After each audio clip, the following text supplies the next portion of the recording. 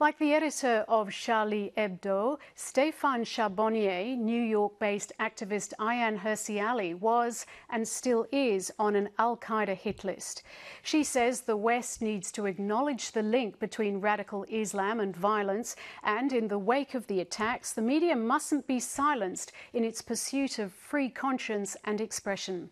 Ayaan Hirsi Ali was born into a Muslim family in Somalia. She became a politician, activist, and writer in Holland, where her friend Theo van Gogh was brutally murdered over a decade ago after the two collaborated on a film about the treatment of women in Islam. She joined me from New York a short time ago. Ayaan Hirsi Ali, welcome to 7:30. How do the latest killings in Paris fit in with what you've described as a surge of Islamist killings in the world?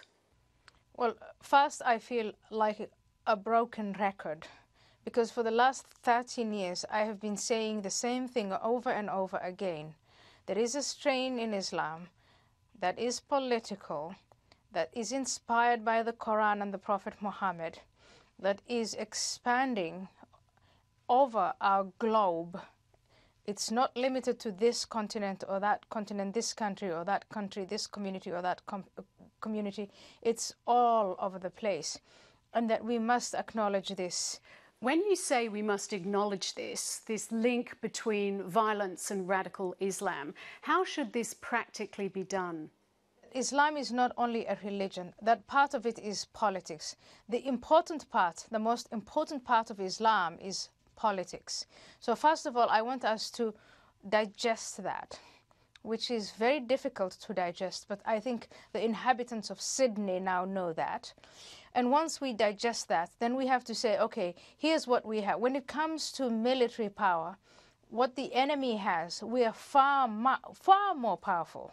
When it comes to police power and resources and money, we have more than they have. Where they're defeating us is in our and this is self censorship. For those of us who love life, the men and women who love death and who choose death, where they're defeating us right now is in the battlefield of ideas. Are you saying that everyone who describes themselves as a believer has the propensity for violence? I am saying that every person who is a believer in Islam has to acknowledge this schizophrenia within Islam. If you believe that Muhammad is your moral guide, then you have to accept that there was a peaceful character in Muhammad and that there is a warlord, a military man, a beheader, man who sold people into slaves. And that in the 21st century, if there are people who say, well, he's our moral guide in, in peaceful ways, acknowledge that. But if they hark back to his bad side, then we also have to acknowledge that. We see in the aftermath of the Paris attacks that mosques around France have been attacked. Isn't this the result of demonizing all Muslims? It is not the result of demonizing all Muslims. It is an expression of anger. It is an expression of the individuals who are doing this to say, you need to stop this. And I'll tell you what is remarkable about the attacks in Paris last night. Those who attacked mosques made sure that there were no individuals, that they did not take human life. Now, I'm not condoning the attacks. I don't think they should do attacks. I don't think they should answer with violence. But I'll tell you something. The longer we wait with acknowledging that there is a link between Islam and what just happened, the more people will die. And how many more incidents like this one, how much more human life needs to be taken before we, the Western world, acknowledge this and fight it? Ever since 9 11, the Western world, as you call it, has spent a lot of money on security. We've gone to war, there have been wars, and yet the problem still persists. What practical measures do you advocate that Western governments, including France and Australia, can undertake? If we acknowledge that there is an infrastructure of indoctrination into the young hearts and minds hearts and minds that are vulnerable, that are impressionable, of young men, mostly young men, but also of women. And that we have allowed this infrastructure to seed in the West and to thrive. If we come to terms with the fact that this is and has been going on for a long time, that we need to dismantle, you ask for practical solutions.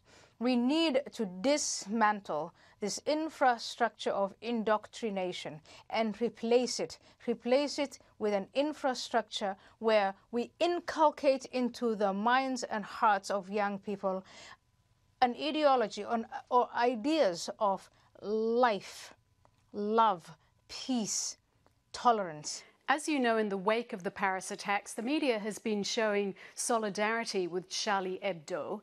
In your view, do you feel that the media in the past years has been self censoring and will it continue to self censor? You are still continuing to self censor because you have not published or republished cartoons of the Prophet Muhammad. You have not honored Charlie Hebdo the way they need to be honored, which is they took a risk.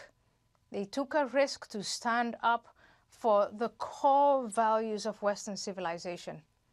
And you, the media, are letting them down. You have drawn and published caricatures of the terrorists, but you have not published caricatures of the Prophet Muhammad. Can I ask you how much of these events, what happened in Sydney, the Paris attacks, how much of this is due to the power vacuum in Syria? Look, this, the idea of the Islamists, the idea that they can bring the world down through terrorism, among other means, to believe that Sharia is the way and the only way that human beings can live. That idea is so much older than what is going on in Syria and what is going on in Iraq.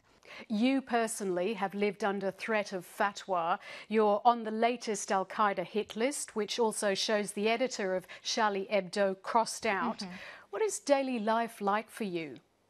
Well, the first thing that strikes me there is that they show the faces of the men that they want to kill, but they will not depict the images of the women they want to kill. That must tell you something. Well, explain that for us.